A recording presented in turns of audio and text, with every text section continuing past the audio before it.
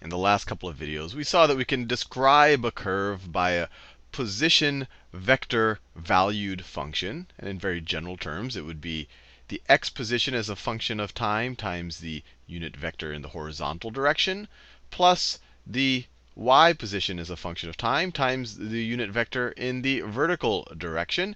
And this will essentially describe this, the, if you can imagine a particle, and let's say the parameter t represents time, it'll describe where the particle is at any given time. And if we wanted a particular curve, we can say, well, this is only applies for, let's say for some curve, we're dealing, it's r of t, and it's only applicable between t being greater than a and less than b. And you know, that would describe some curve in two dimensions. Let me just draw it here. This is all a review of really the last two videos. So this curve, you know, it might look something like that, where this is where t is equal to a, that's where t is equal to b. And when, you know, so r of a will be this vector right here that ends at that point, and then as t, or if you can imagine the parameter being time, it doesn't have to be time, but that's a convenient one to visualize.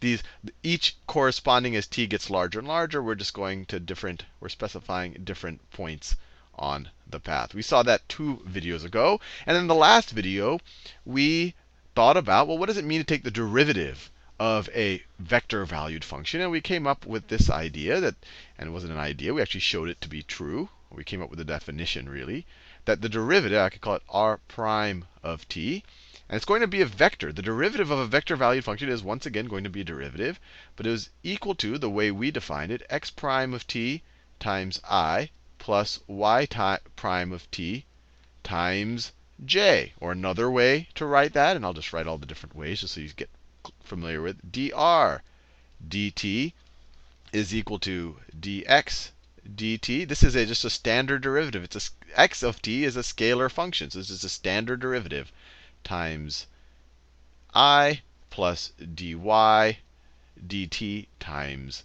j. And if we wanted to think about the differential, one thing that we can think about, and uh, you know, whenever I do the work, the math with the differential, it's a little bit hand wavy. I'm not being very rigorous, but if you imagine multiplying both sides of the equation by a very small dt, or this exact dt, you would get dr is equal to, I'll just leave it like this, dx dt times dt. I could make these cancel out, but I'll just write it like this first, times the unit vector i plus dy dt times the unit vec times dt times the unit vector j. Or we could rewrite this, and I'm just rewriting it in all of the different ways that one can rewrite it.